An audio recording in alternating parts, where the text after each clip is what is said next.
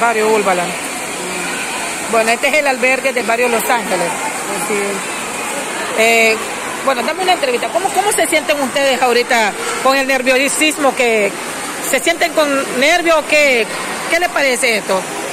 Pues claro, y cómo no vamos a tener nervios si esta cosa no es de juguete, sino que es una cosa que nos va a atacar y quizá vamos a perder vida de los familiares que están en otro lado.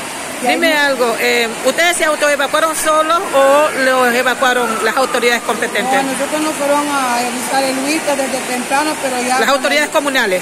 Sí, las autoridades comunales ya nos venimos para acá, para la iglesia Morada Renovada.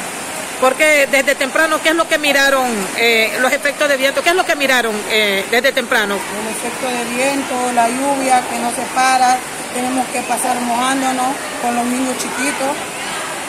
Y ya se está viendo de esta hora como que ya va avanzando más. Claro, así es, está soplando más fuerte y la lluvia está más recia. ¿Y cuántas personas de tu familia están acá? ¿Trajeron toda la familia? Claro, nosotros somos como 30 personas, la verdad, niños, adultos, tercera edad, discapacitados y todo.